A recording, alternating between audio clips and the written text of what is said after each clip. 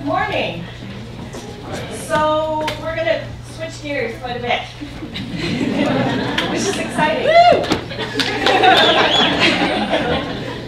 so my name is Jennifer Paterson. I'm a sexual health promoter with Toronto Public Health. And um, Dana and I are going to present together. I'm going to do some of the more introductory stuff work uh, first. So my entry into this work is um, doing disability advocacy from when I was a teenager. I, um, so I have a bit of a unique perspective as a sexual health promoter. We have a very um, interdisciplinary team, and so some of my colleagues are nurses. Um, so not all sexual health promoters are nurses, um, and so I come from a critical disability perspective. So I have a developmental services worker diploma from Centennial, and then I did critical disability studies at Ryerson and New York. And working in the field uh, many years ago, I was very troubled by the absence of discussions about sexuality and the absences of sex education and supports to have sexual and intimate relationships. So those early experiences really moved me to do more of my work around sex and disability advocacy. So I'm going to go through some slides and then we'll have some time for discussion. Um, please interrupt me if you need to clarify something. If I use an acronym, it's, my acronyms won't be on your sheet. So please, if you need something for clarification. Is it published to us? Is it going to be published? So, of the content that I'll be talking about will be new for some of you. And for some of you, it will be a review. So I really want to honor the expertise in the room. We're all coming from very different perspectives, different comfort levels around sexuality, different, very different lenses. And so I invite us all to, to share those perspectives um, when we have the, our conversations. So I'm really laying the groundwork for some of those ideas, um, how it'll inform their practice. And so Deanna will talk us through more activities and teaching tips. So I'm going to talk about the Toronto Public Health sexual health philosophy and guiding principles. I'm going to talk about what is sexuality, what do we mean by uh, sexual health education, why we do uh, sexuality education and sexual health promotion, the barriers to sexuality uh, education for people with disabilities. I'll talk about my role as a sexual health promoter and some of the resources that we have on our team, and we'll talk about the case study. So, Toronto Public Health has this sexual health philosophy and guiding principles policy that everyone in Toronto Public Health is uh, mandated to work from. So regardless if someone is a dietitian or if they are a um, healthy families uh, support person, they need to be working from this policy. So we believe that over the lifespan, sexuality may include the basic needs for touch, intimacy and connection, emotional expression, love, and pleasure. We promote a satisfying, safe, and pleasurable sexual life while reducing harm, judgment, shame, guilt, coercion, and abuse. And choice to participate in consensual sexual activity and support decisions about whether, how, and when to have children. So, as sexual health promoters, we are sex positive, we're inclusive of uh, all gender identities and sexual orientations, client-centered, inclusive, non-judgmental, respectful, pro-choice, evidence-informed, and we um, work from and we practice harm reduction. And again, I'm saying this is sexual health promotion, but it is something that everyone in Toronto Public Health works from. So I just want to take a moment to talk about what do we mean by uh, sexuality, because there's a lot of misconceptions, panic, and fear about what we mean by sexuality and what we mean by sex education. So uh, we know that there's many ways to be sexual, and there's many ways to have sex. So sex goes beyond physical actions. There's many ways to have sex. Um, it's part of every life stage. It's a big part of ourselves from the day we're born to the day we die. It's because it's our sense of our bodies, how we live in our bodies, how we experience our, our bodies.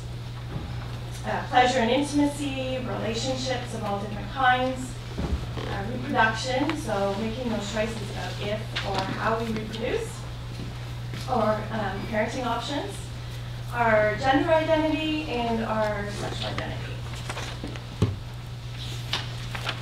So the question of why sex education? Why do people with disabilities need sex education? Well, our work as sexual health promoters is to make sure that everyone has access to good quality sex education.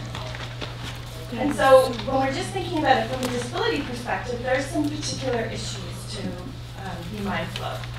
So we know that, this isn't news to anyone in the room here, that sexual abuse rates for people with developmental disabilities is typically much higher. So I'll just give you, a, uh, there's a few stats here. So 83% of women with disabilities will be sexually assaulted in their lifetime. Only 3% of sexual abuse cases involving people with developmental disabilities are ever reported. We know that there are many barriers to reporting sexual abuse and sexual assault. Um, and of course, there would be many more barriers for people with disabilities to report because of um, if it's being, if it's a situation that's involving a care dynamic, people have, are at risk of losing their, their care, their housing. So there's all those many more complex barriers. And children with intellectual impairments appear to be the most vulnerable with 4.6 times the risk of sexual violence than their non-disabled peers. So Those are some pretty high numbers and numbers that we need to pay attention to. So I want to also give a caveat to this, the information about abuse and um, abuse prevention. So of course we know that abuse prevention and violence prevention is a really Im important uh, work to be done. However, that we see that sometimes the risk of abuse or the possibility of is abuse uh, is a reason to justify not letting people be sexual, right? So that fear of people be, being a sexual person can create a lot of anxiety or discomfort. And so in families and in service providers, there can be that, um, that um, pressure to, to care for people in ways that means preventing them from being harmed or hurt. So I'll talk more, a little bit more about that in a couple of slides. Um, so I just want to be really clear that you know, there are these stats and we want to be thinking about abuse prevention, but at the same time, sex education is so much more than abuse prevention. Everyone needs to learn about their bodies, how their bodies work, about desire, about pleasure, and so much more. So we hear, I've heard this quite many times, um, and those of us who are doing sex and disability work, we hear from people in the disability community and from service providers, but sexuality isn't important. We have so many other better things to be worrying about. We have to worry about housing. We have to worry about employment. We have to worry about long-term planning. And absolutely, those are, you know, there's a whole range of issues that we need to be supporting people on. But at the same time, we need to be making sure that sexuality um, is seen as an important disability issue. So even though we have those fears about sexuality, and there's that pressure to wanting to protect and to prevent harm in people's lives, then we want to make sure that that's not a reason to exclude people from getting information and from being able to be seen as a sexual person. So we know that regardless of our bodies, regardless of our identities, that most people have sexual interest and curiosity. And for even people who identify as asexual, still have a need for some kind of intimacy. We just all express it in very different ways. So it looks different throughout, sexuality looks different throughout lifespan, and the way that we support people will look really different and to make sure that people get to be their, their whole selves. There's many, many different barriers to um, sex education or sexual health support for people with disabilities. So a lot of them, uh, I would argue, is that they are socially created. So this isn't a problem of people's bodies or people's ability to understand.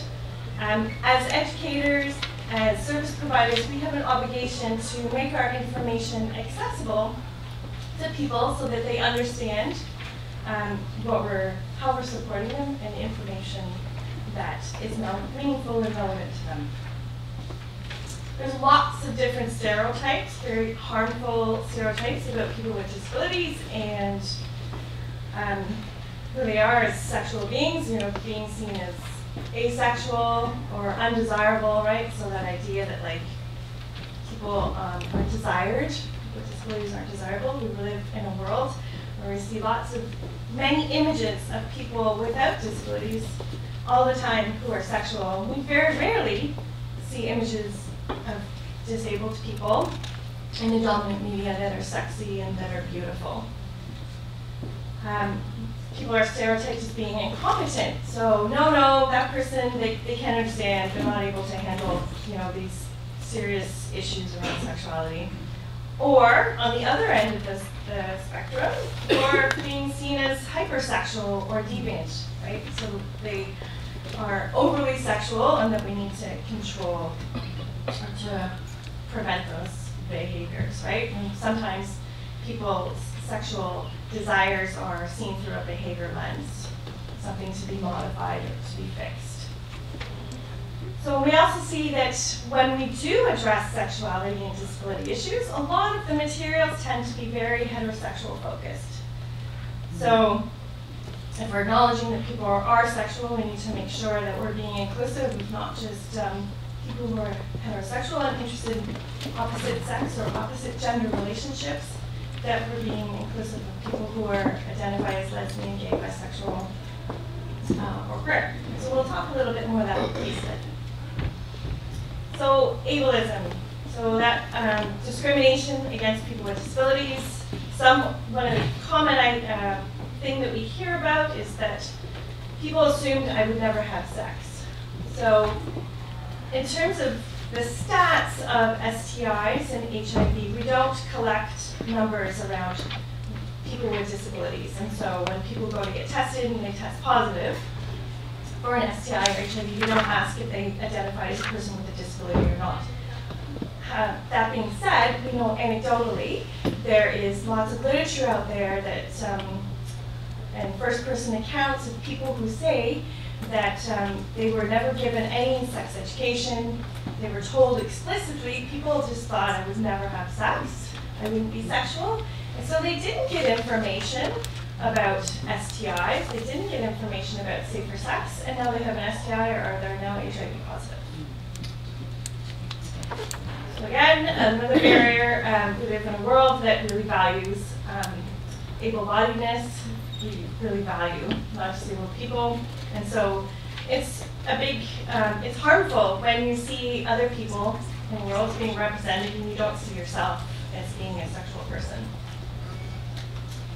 So, like I said uh, a moment ago, um, that lack of information really puts people at risk, right? So we are doing the harm, we're harming people when we don't give them information when they don't have access to accessible information about sexuality because we are putting them at risk um, for things like STIs and HIV. Um, violence, right? If you don't have the supports to learn about relationships, um, you might find yourself in a place where you're being abused and you might not even understand that it's abuse. And I know that there's been lots of great work done in the sector around um,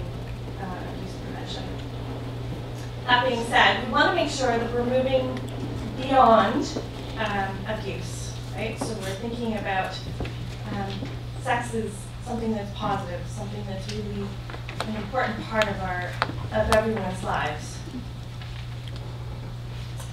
So there's been lots of really wonderful work done by many um, people with disabilities who are activists in the disability community.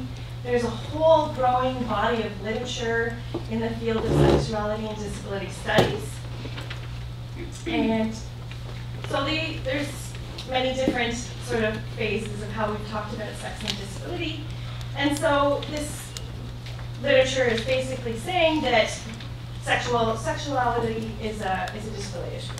So sexual rights is a, is a really important disability issue, and it really is about many of the core issues that we are already as disability service providers and um, activists working on, right? So we want to support people to be autonomous, to have real meaningful choices in their lives, to have relationships, but all different kinds of relationships, not just, you know, relationships with family members, but intimate and sexual relationships.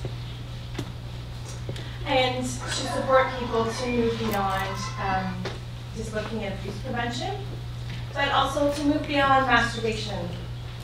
And so uh, there's um, a scholar, excuse me, Mike Gill, who's done some work around masturbation training and how um, sometimes when we do support people to be sexual, that we just leave it at masturbation or self-pleasuring.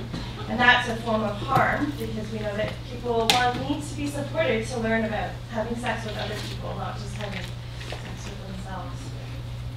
And sex education is also a, like, like a thing, it's a disability issue, to have pleasure in your life and parenting, right? So to help support people to think about their dreams to become a parent. We know that the legacy of eugenics and in Canada really has continued on in that people with disabilities are given the messages that they shouldn't be parents, that they can't be parents. So there's some big issues there too. So my job as a sexual health promoter is to help disrupt all this, which is really exciting. So my role is um, we do a bunch of different workshops. So we have, um, and there's a flyer that you'll be able to take with you if you like, of training trainer workshops that my team offers that are free, free full day trainings on different sexual health topics and harm reduction.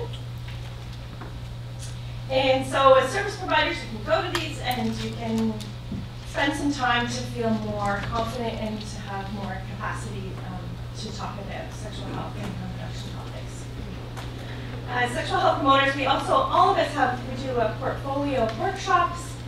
And so my, excuse me, as a sexual health promoter, I go out to community groups all over the city and we do workshops on relationships, safer sex, birth control, um, STIs, and we can really tailor it towards your group. And that can look really different depending on your client needs or your agency needs. Um, you know, I realize that all of you are working with adults, but just so you know, another piece of our work in sexual um, promotion is to support the teachers to implement the, um, the health component of the Ontario curriculum. So you might have heard in the media that there's been some changes recently to the curriculum. And so our job is to go out and support teachers to implement that part of the curriculum. And of course, students with disabilities in special education and self-contained classrooms should be getting that information, um, but sometimes that doesn't always happen. It really depends on the teacher and how that um, how that looks depending on the, the school. So we're supporting teachers to be more confident to be able to implement material for students with disabilities as well. And we also have a large database of resources and so you'll be able to grab some on your way out. So different pamphlets on various sexual health topics. We have one series of pamphlets that is disability specific. So for people people with developmental disabilities, we have um, three pamphlets in this Let's Talk series, and it's um, one of them, for example, is a task analysis of how to put on a condom, and it's, it's a visual tool. And there's two other pamphlets about safer sex and relationships. So when we have a bunch of other um, pamphlets that aren't as plain language, but they're available. And we also have a condom distribution program, so we give out condoms to individuals and to service providers that, that need them for their people that they're supporting. So let's just start thinking about practice. So how do we make the shift towards including disability and sexuality issues in your book?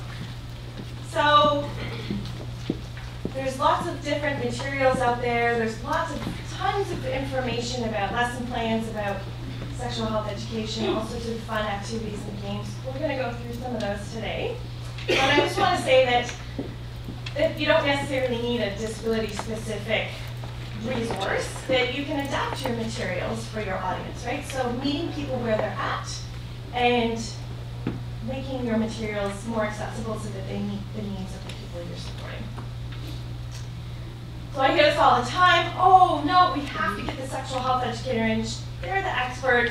Well, anyone can be a so-called expert in sexuality, and there's lots of different ways to give different messages to people to support their sexual selves in different ways.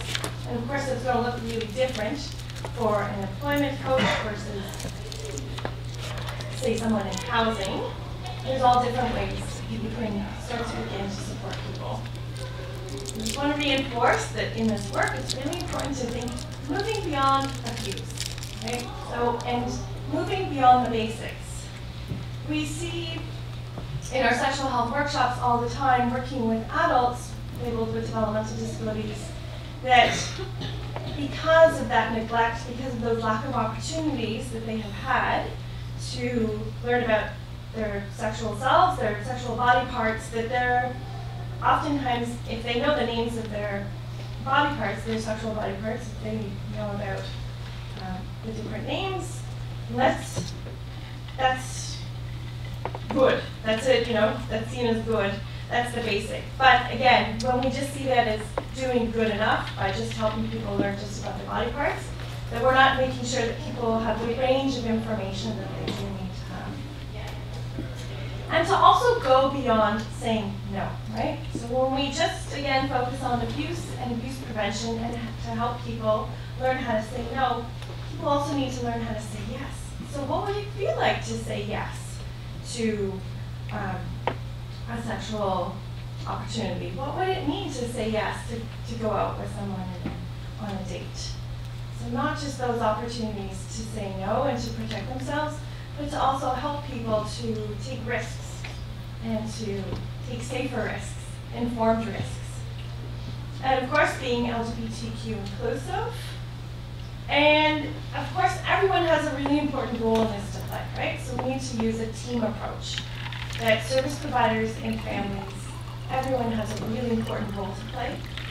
And of course, that role will look really different. And we also know repetition, a lot of people, people with developmental disabilities learn really well through repetition. And so, we, of course, we all need to be on board, making sure that people get a variety of information variety of different ways.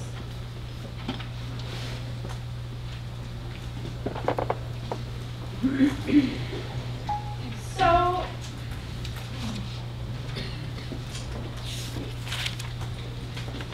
we will show, so some of the, the teaching tools, like they're called the Swedish cards, you'll see them. So there's lots of visual tools that are out there, visual picture images that can be used as great conversation starters, right? So that your material isn't just written and it's not accessible, so that there's more opportunities for people to learn from stories or to learn from pictures. There's the sex esteem curriculum, which um, you know, we'll talk a little bit more as well. And there's lots of supports available. Right? So if you feel like you go back to your agency and you start to have these conversations and you think, wow, like I'd really like to have someone in to support us to have more conversations about how we can be more sex positive. Like I've said, uh, Toronto Public Health, myself as a sexual health promoter, I can come in and support you um, the DSTO relationship work group will be doing a presentation on, on different kinds of presentations about relationships as well. Lots of, lots of resources. So why don't we pause? I just talked at you quite a lot. So why don't we pause for questions and then we'll briefly talk about the the case study. so my information is up here on the screen, and there's some of my cards on the table outside with the resources. There's also the number for Toronto Public Health, our intake number. You can call and speak to an intake worker about all sorts of different services that Toronto Public Health offers, any other, other, lots of different supports and resources available around nutrition,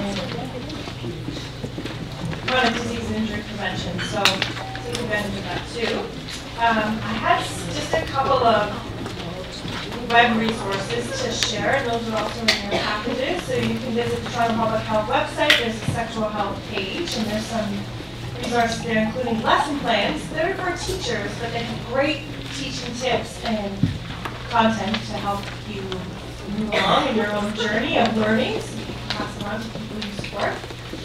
The Intimate Citizenship Group is a group of self-advocates and service providers and activists and scholarly people who got together in Toronto last year to do some work around sex and disability. So you can check out their blog. They have some really interesting resources. Rainbow Health Ontario is an LGBTQ specific resource. Scarleteen is a website uh, mostly geared towards teens, but there's a ton of information that's really well done around sexuality. It's not a plain language resource at all. It's very uh, dense, but there's some really good information there that I would highly recommend. And Sexuality U, which also has some disability specific information. So just to quickly uh, talk about the case study. So Sam, so here are just quickly some of my thoughts. Because what we want to do is um, give you more time to do some discussions and activities around sexuality. So some of, just some quick thoughts that I came up with around Sam is of course, what does Sam want and what is important to her? Now, worse, I, when I read the case study, I assumed that Sam uses the pronoun she or her. We also have to make sure that for anyone, we always want to check in around people's self-identification. So in the case study, it says that Sam identifies as a lesbian. So we want to ask, you know, what name do you use? What pronouns do you use? That's making sure that we're respecting people's gender identity. So it's just some things to think about. Of course, changes in routine can be stressful for a lot of people. At first, there was, before we had revised the case study, there was some reference to Sam feeling anxious. And so rather than pathologizing um, the feelings of change, to just normalize that everyone feels, you know, so-called anxious, right? It's nerve-wracking for people to have change.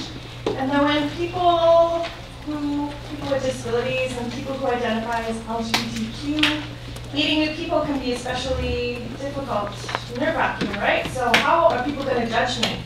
Am I going to encounter homophobia? Am I going to encounter ableism? Is things people are already thinking about.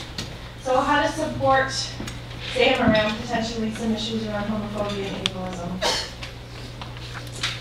Um, thinking about agency barriers, right? So someone brought up a great example earlier about when people don't have opportunities for private time and private spaces, that those agency barriers really um, constrict the kind of relationships and connections that people can make. So Sam is currently living alone, but uh, while, um, until Sam can with her partner, is there, how to make sure that you're fostering that relationship? Like, What does Sam need and to support that relationship? Maybe there's something that Sam's partner needs. And then moving just away from the individual level, also thinking about agency level. So what does the agency need? So a training on sexuality, a training on relationships, maybe some information about LGBTQ issues. And so I would just point out that there's lots of different resources in Toronto to support that work. So the 519 Church Community Center does some trainings around LGBTQ identities for service providers.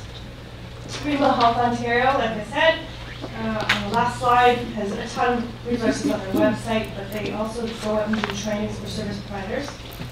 And the relationship work group through the DSTO that we're going to be eventually doing some presentations and a little traveling roadshow. Do you want to, David, want to add anything to the case study? Okay, so we'll leave it there, and now we're going to get on to the fun, moving into practice. How do we implement this? So on the sheets that you guys have, it says, Deanna Djos, the DSTO Facilitator, Developmental Services Toronto. I just want to point out this presentation, I'm taking off my DSTO Facilitator hat, and I'm putting on a different hat right now. And you can think of it as a community hat, advocacy hat, whatever you want, but I'm not a DSTO Facilitator when I'm talking to you today, okay? Um, so, resources and teaching tools that Jen talked about was uh, no need to be an expert. I'm not an expert. Um, don't need disability-specific resources, adapt to your audience. I do that. Um, I had the good fortune of growing up uh, with a family member who had developmental disability who was close to my age. And we had very different experiences in life. And uh, when it came to relationships, it was also the case. And I was always really curious about that because I didn't think it was fair. He would get away with way more stuff than I could get away with. And um, so growing up, I had this always in front of me. So it was a convers- this is a conversation I'm completely comfortable with. Uh, I like to be disruptive. And I like to have conversations that other people uh, maybe shy away from, but I also think um, relationships are valuable and it's what makes us uh, survive in life at the end of the day. And um, I've, I use the Swedish cards in this presentation, and I am Swedish, so that seems appropriate, right? um, and the relationship work group, the DSTO relationship work group. I'm one of the founding members of the, uh, the DSTO um, relationship work group that's affiliated with the DSTO Council, supported by the DSTO Council. Um, and it's a fantastic group of self-advocates, agency member, community members, and we talk about relationships. We brought the Sex Esteem Train the Trainer to Toronto, and we had a great turnout by a lot of agencies, and we're hoping to bring back another series of those Sex Esteem. We're also looking at going into the schools and talking about transition relationships in schools with, with Jen's support. So we've done a lot of good work. So if you're interested in the DSTO relationship work group, please come and talk to me. Um, we're always looking for more folks to support and help us out. So I've been teaching this concept of this work, this workshop for about a decade. I've adapted it to different groups, obviously. I've taught um, very small groups to very large groups. I was just at the uh, Tourette's conference in Niagara Falls to youth. Um, and everyone gives, it provides me with a different experience. So when you go into a group, you've got to be able to adapt to the different the differences and um, be able to reach out. So this presentation is actually a presentation that I would present to anyone um, that I support. So this is going to be the real deal, except it's obviously more condensed. Um, I've also been done some of this work in the school system with uh, some teachers, which was really interesting. So talking about adjusting, uh, like from from the first time you go in to the next week, completely throwing out your agenda and re redoing it because uh, you have to be able to reach out to those those folks who understand it. So the first thing we need to talk about is we do sort of uh, rules. You can do ground rules, but just talk about when you talk about um, relationships with a group is everyone has the right to sexual education. Our space is always positive and welcoming, and all questions are great questions. And what we, what I would usually do with groups of folks is they come up with their own ground rules, and it's it's um, always live. So someone does something constantly that's irritating the rest of the group, and it's really distracting. We talk about that as being a new rule on the wall, so that people aren't taking away from the experience or distracting from the experience. And sometimes when people are uncomfortable about topics, behaviors occur, right? So we want to address that. I want people to be comfortable. So I don't know if you guys noticed this picture here, sort of the heteronormative, the plug-in. okay. Okay, so let's talk about um, your support circle, people we support, yourself. You can't have relationships unless you look at yourself. And this can work for everyone in the room. So this might be a I might do a little counseling session with all of you to be reflective about yourself, other than the people we support, right?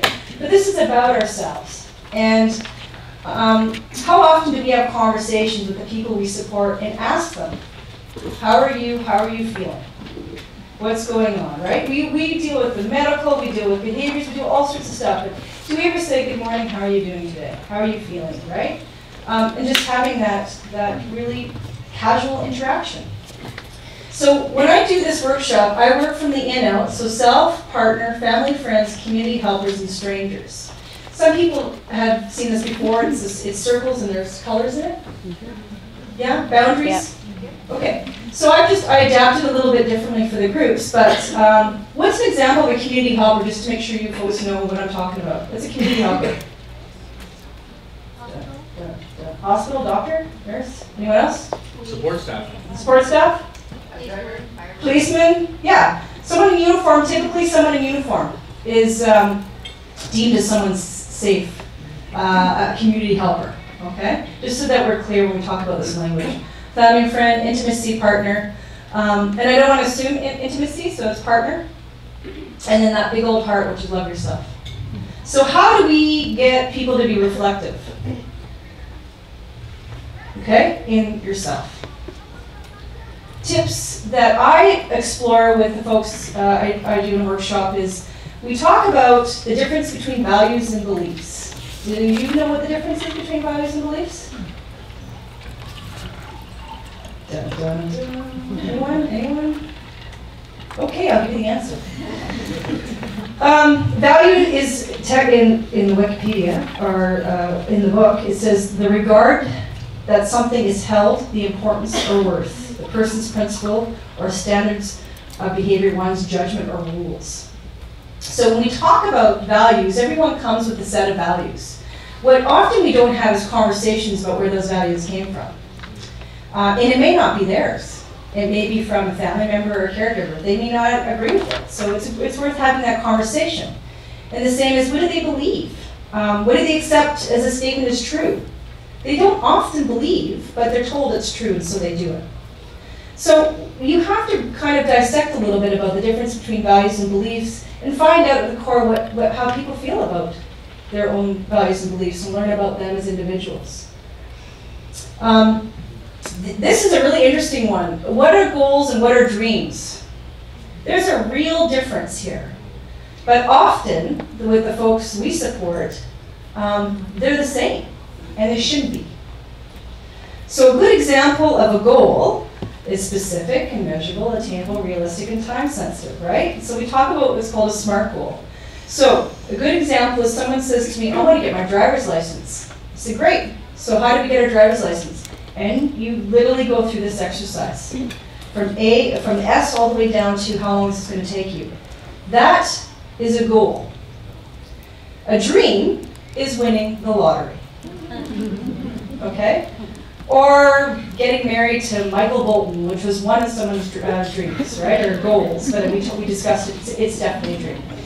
Um, but for them to understand that there's a difference. So when someone says, says, says to me, I want to get married, great. So how do you get married? Let's go through the specific things as, if it was a goal, because this shouldn't be a dream, this should be a goal, right? So we talk about the difference and we have those, those conversations so that we can make our conversations more accessible, more meaningful. Um, in the same way as, what does love mean? What does love mean? Everyone interprets it differently. It's a really interesting question to ask someone with developmental disability. Um, because uh, love shouldn't be just assumed. They should have a certain feeling. And so we have to talk about those feelings, what love is what it feels like inside, and, and sort of be able to have folks describe it, okay? Um, and sometimes to get down to the to get down to the nitty gritty of what love is, if you show pictures of like really hot celebrities that they love, I don't know, what's the latest movies out? Uh, what was the movie that was out? Um, so name some shows of really hot celebrities that are on the list right now. myself. Hmm? Who gets your heart pumping, people? He doesn't get my heart pumping, but uh, Ryan Reynolds is a lot of people like him. Okay, okay. So if you say his name, do you get a little queasy? Do you get a little weak? You know, we got to come up with people or names, or maybe someone they know that gets them going. So we got to talk about love. That's not love. Is that love? Do we even know that person? So what I often do is I show a lot of pictures of celebrities, and I see get people's juices flowing a little bit and see how they're feeling. And I say, guess what? This is not love. This is a crush. Because you don't know them. They're in your stranger circle. right? We may know a lot about them, but they don't know a lot about us. So sometimes it's really important to make that distinction, okay? Make that clear. What does love mean? And it's different. You should love your mom or your dad or your brother different than Ryan, Reynolds. Okay. Um, and so it's, it's really important to have that conversation. Don't assume that they understand or that they know. Um, and it's a great exercise to talk about that. Um, what is self-esteem? Do we have it? We must a little bit, right? If we don't, is it obvious? So self-esteem is confidence in one's own worth or abilities. Do you think that the people we support have high self-esteem? Probably not. So what you have to do this is an exercise to pump people up. Let's talk about what you're good at. Let's talk about what you love to do. I had a gentleman who was like incredible with the TTC. He knew every single stop, what bus was where. His talent was amazing. And so we talked about that. Because he said he has no skills. I yeah, you do. But sometimes you have to bring it out and you have to discuss it with them and, and bring it to light. Okay? So you have to pump the room up. You have to pump yourself up around self-esteem. And then what do you, uh, how do you learn to feel better about yourself? So that self-esteem turns into self-respect. And that's sort of how we have to flow into our conversation around relationships. You can't have relationships if you don't have good self-esteem or even know what your values and your beliefs are, what makes your heart race, what doesn't make your heart race. Find your self-confidence, take responsibility, be positive, imagine your message improve your messages, right? All that energies is helpful. One of the games that I always play is um, when someone comes in to my workshop, they have to say something positive. A compliment every single day, right? Because often we come in, oh, the traffic, the weather, the Donald Trump, like whatever you want to talk about, right? Why, why, why? So I ask them to come in and think about something positive. It's amazing how that changes the room right? And all of a sudden, people are making compliments to other people and it becomes a habit, right? And that's really helpful because that might be the only compliment they've heard for a week, a month, a day. It's wonderful. And it's great for the person who facilitates as well, okay? Okay, so part of self-esteem and self-respect is etiquette. It's good manners. I don't think when you sit on the subway you feel like people have good etiquette obviously, right? So one of the things that boosts people's self-esteem is good manners, polite behavior, which should be an expectation of everyone. And often isn't an expectation of the people we support. It's like the last thing sometimes mm-hmm. on our list of things that we'll, we'll do, right? And that was what my cousin got away with. He was a rude little man. And I'd be like, why can't he get away with this? Why he's a discipline? I don't care. He was rude and I can't be rude. That's not fair. And so when you're young, you're trying to navigate that. And even to this day, we have this conversation um, about manners and being polite. Because, um, again, it should be a social skill that we all should know and, and, and do. So if uh, it refers to the guidelines that control the way uh, and how an individual should behave in society. Wouldn't that be wonderful if we all had manners? If anyone's phone goes off, you're going down. okay? So, in order for people to understand what I'm talking about, I like to do an exercise with you today. Um, but before I do that, I want to talk about some of the etiquettes or manners that I go through with the folks I support. And I use a lot of visuals. Uh, it's important because you know what, if you're learning this stuff, you got to look at something fun. Um, and I go through it. And actually, just this page could probably take me a couple of weeks. Social etiquette teaches someone how to behave in society. So we talk about things in, in, a, in a social in a social context around all the things that they would like to learn and talk about. What are some social etiquettes? Saying excuse me. That's great, isn't it? Yeah. That's really basic, but that's where we start, right? Not talking over someone, not interrupting someone, all those sort of things that sometimes we do it or not. Corporate etiquette refers to how an individual behaves in a workplace. So what I often do is I set up a, a lot of times the folks I support say my parents are working, they go to meetings, they do these things. Um, so sometimes what I do is I plan a meeting, uh, like, a, like a formal meeting with the group, and I show them how you operate and run a proper meeting. And we do the corporate etiquette piece people love it because they have now identified something that their parent does on a regular basis and able to come home and have a conversation about, I learned how to operate a meeting. Do you do this? Do you do this? Do you do this? And they have the, information. It's fantastic. Bathroom etiquette. Oh, this is a fun one. what do you think goes on in the bathroom? So this particular bathroom etiquette, I have um, a beauty kit that I uh, carry around with me for the ladies. Um, and I talk about the use of feminine napkins, pads, tampons. I actually bring them out and I put a bunch of tampons in water and I'll show the gentlemen what tampons are, what pads are, and the etiquette of that. Nine times out of ten, guys don't even know what a tampon is. They saw it once in their mother's purse or their sister's purse. They have no clue what it is.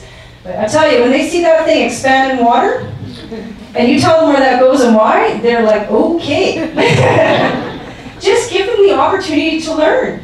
It's really important. This is our life as women. You should understand, gents, what this is all about, okay? If you need access to tampons beyond condoms, you come and talk to me. I'll give you some tampons, and I can show you what happens here, and you need to educate yourself on it, okay? Um, and the same with pads too, and how to put them away properly. The same with gentlemen around the bathroom and what they see and what's you know can they see. All sorts of stuff. It gets brought up. Bathroom etiquette is public and private. Okay? Talk about all this. Wedding etiquette. This is the funnest conversation because you always hear about people's drunk relatives and all the shenanigans that goes on at weddings, and um, they just let it rip and they know. They know. So um, we talk about wedding etiquette, when is the wedding coming up, or how to behave. Um, that's obviously, the rules are always broken in usually weddings. Meeting etiquette, so we introduce the meeting piece to the corporate. I usually incorporate the both. Eating. Oh, tell me, tell me, tell me about eating. We do this at lunch. So if there are things that are happening at lunch, we try to set up something more formal and we eat and we talk about etiquettes at lunch in the practice of it. Okay? Eating, also what I do is I talk about different types of eating in terms of formal, semi-formal, um, and then we sort of set the table up and we learn how to set the table properly. Um, I'll bring in some plates and stuff like that so we can learn about table manners while we eat lunch at the same time. Um, and this ties into something else to be talking about further. Telephone etiquette, the cell phone. I can't even tell you how painful the telephone etiquette has become. And I'm sure for a lot of you, and a lot of people talk about their workers. Yeah. How they interrupt them, or the phone always goes off, or it's a distraction, or they're always texting when they're supposed to be helping and taking care of them. The social rules for telephone etiquette has been thrown out the door. And I think we should all step back and remind ourselves about our behavior on, on a cell phone. Your safety, what people are seeing, um, how an impression as a mentor and a leader we are with the folks we support, uh, to get off the phone if you're supposed to be focused, right? Um, and then business etiquette again goes back to um, aspects of business. So if you go for an interview, if you meet someone and it's more formal, uh, again you'll see a picture there's someone on the phone and the person's got their just sort of staring at you. So these are the things that we go over and we create sort of, uh, they have questions or other concerns, we go through them all. And let me, this alone, people's self-esteem bursts, their self-respect bursts. And then they start going home and giving their family members or siblings heck. Because they're like, hey, you're being rude. Where did that come from, right? I get phone calls. I get phone calls saying, so-and-so did the dishes. That's never happened. It's because they feel good and they want to be a part of it. You have to get them to feel good about themselves and be a part of your family. You know, not it shouldn't be assumed that they should they're not allowed to do it. They should do it, right? So let's practice. We're going to do the handshake. Okay? I want everyone to stand up, introduce yourself to the individuals at your table as if you've just met them. Formally, handshake. How was your handshake? Handshakes are an important introductory ritual in all manners of social contacts. Okay? Did you have a bone crusher? Did anyone crush your hand? You know who you are. The hipster. What's that? Their confusing handshakes make you feel out of touch. They never let go. Blah, blah, blah, blah, blah, blah, blah, blah. Okay? The misfire. Oh, oh, oh, right? Awkward, awkward, awkward. The politician. Those who shake with both hands in trying to sell you something. And last but not least, sweaty McSputterson. It's like you got a second pair of armpits. Okay? So think about your handshake and the impression that you've just made.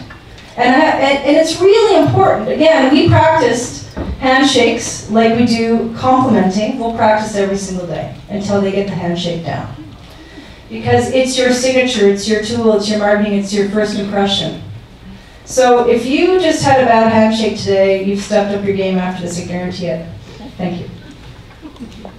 So let's talk about what your type is. We're gonna move along a little bit. So we talk about, remember what makes your heart, what's a crush, okay? So, what, Betty White, she get your juices flowing or what? Right? Is this your type? Why is she your type? Okay, what quality? Is she a stranger? Yes, she is. So we talk about the celebrity piece, right? I don't even know who this guy is. But Harry? Is his name Harry? Uh, One Direction? Yeah, yeah. I had a girl who was obsessed with Harry. I think that's why I kept it here. So does Harry get your juices flowing? How about George Clooney? Yeah, see? Last but not least,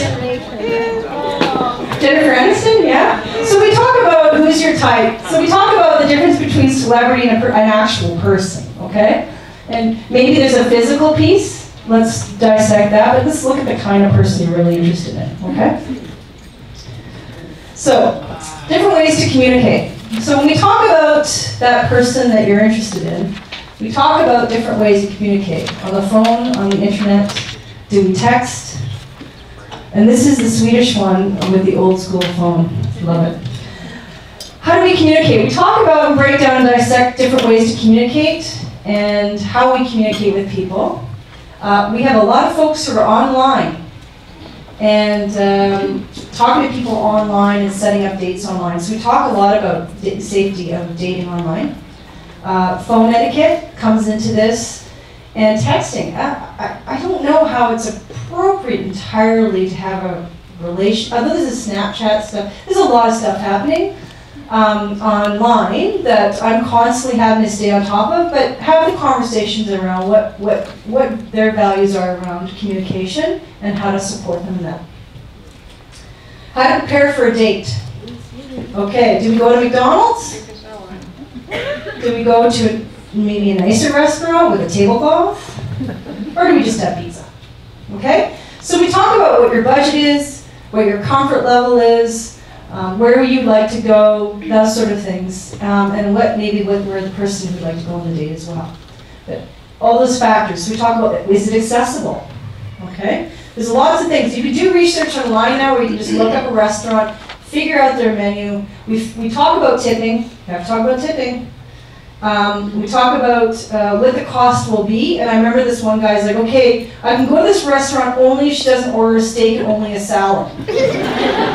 That's not going to work because you're taking her on a date. You can't limit what her menu items are, and how can you have this conversation, right? So we talk about, okay, that's not the right restaurant.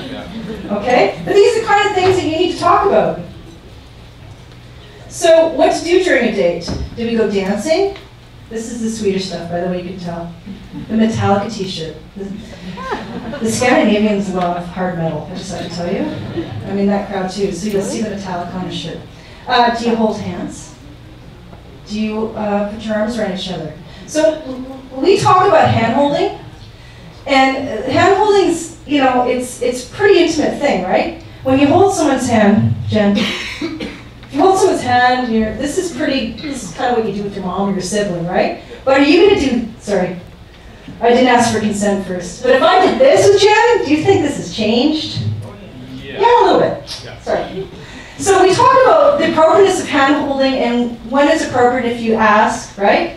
Uh, especially putting your arms. The, the walking like this is so awkward. Like this is just for photo op. Come on, people do not walk like this. Um, but you can talk about how uncomfortable that is, and that you know there's all aspects of issues there, but height and maybe your armpit smell. I don't know. But you talk about all those stuff, right? Dancing, how you dance with someone, when it's appropriate sometimes they don't have the social cue or the ability to pick up on the energies of that stuff, okay? So, how do we support a healthy relationship? So now we've gone to dinner, dancing, and now maybe we're getting to what base? It's probably third base. Um, and we talk about some of this could be first. Um, I don't judge. Um, we talk about this aspect of a relationship, and we talk about what does this picture mean to you, right?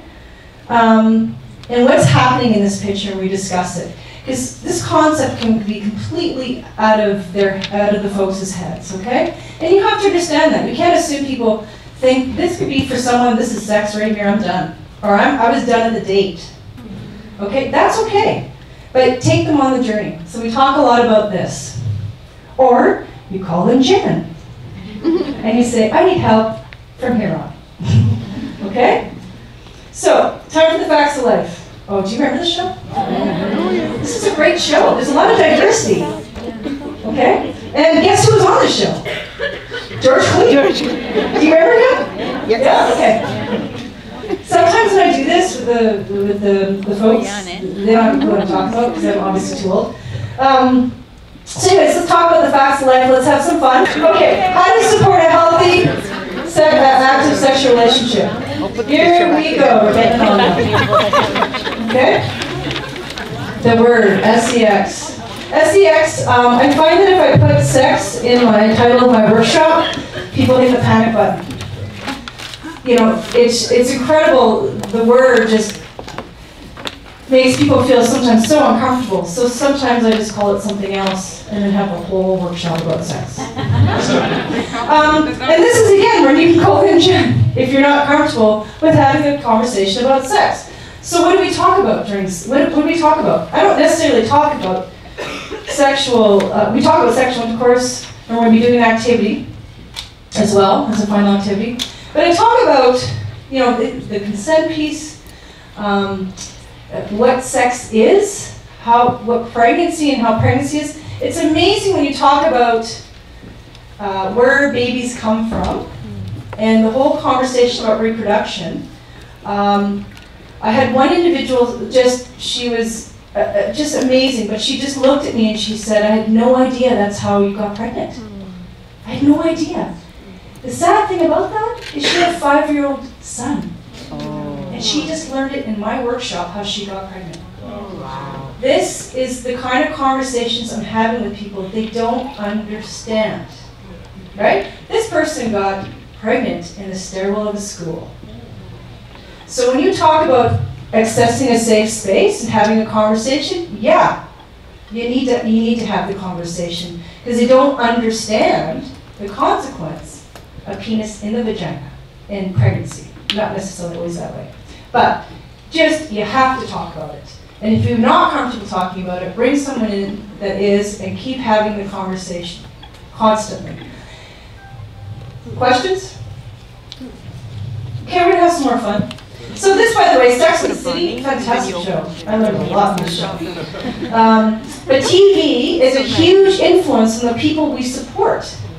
So I find a lot of the references about shows, and if we talk about relationships, they, they see relationships like a Hollywood movie. You know, the sex scenes where they start kissing and making out, and then the next scene is they're just laying in bed and they look really relaxed. But there's that piece in the middle that they don't see, right? So that's what our job is for any one of us who are curious. We need to figure this out. They'll never show, I'm sure, I mean, they have, I'm sure, a proper sex scene of awkwardness, discomfort, not working out so well. Maybe the 40 year old virgin, it's been a long time since I've seen that. But there's not a lot of movies where you see that discomfort or that, that uh, not, in, in those moments where it's like, about to have a sex scene, just wait, I put a condom on. Yeah, that's not hot in television, right? So that's the part that a lot of the folks are missing. So we talk about movies and things that have influenced them so I can get a nice idea of how to fill in the gaps. Okay, so let's have some more fun. How to use a condom. This is a really empowering thing for the folks we support. Even just touching it. In your envelopes, folks, is a banana and some condoms. But not just a banana, because I believe in diversity. Two of you got something else in your envelope.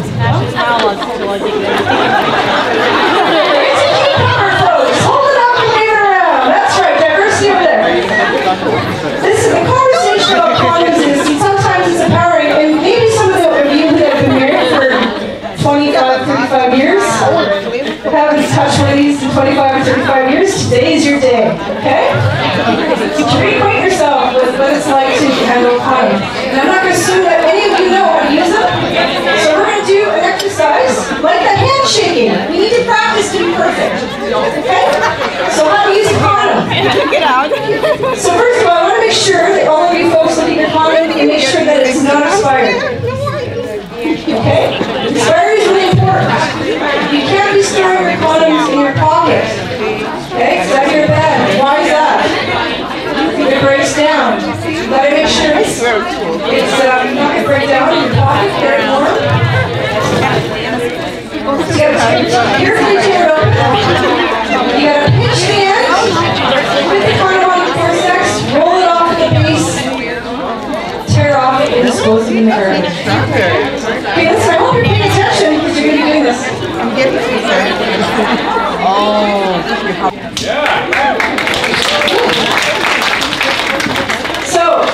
how to put a condom on a banana, now you know. So, Jen told me this really interesting story about this young girl who got pregnant. And they asked, I thought you, you, you, you practice this, you put condom on a banana. She's like, yeah, I did. I put a condom on a banana and I got pregnant. So let's be careful about the literal piece, okay? That uh, I, I mean, ba- bananas are cheap. I, I, don't, I can't afford 16 dildos to do this thing here today, like unless someone wants crowdfund for me. But you got to use what you have. Resources are called Toronto Public Health. I'll call a nurse or something and actually use a dildo because that is a, a problem when you violate fruit. Some people won't eat bananas anymore, whatever the case may be. Um, Good job. so let's just be aware of that, okay? So we had our banana love time. And now we can do a good handshake and we can now put on a condom properly. How's everyone? Good? Okay, so if you're not comfortable, call Toronto Public Health. That's it. Now I'm gonna leave you with one final video that I picked up yesterday that I, I always keep track of and I keep my finger on the pulse with all sorts of great media stuff that I can use in my workshops.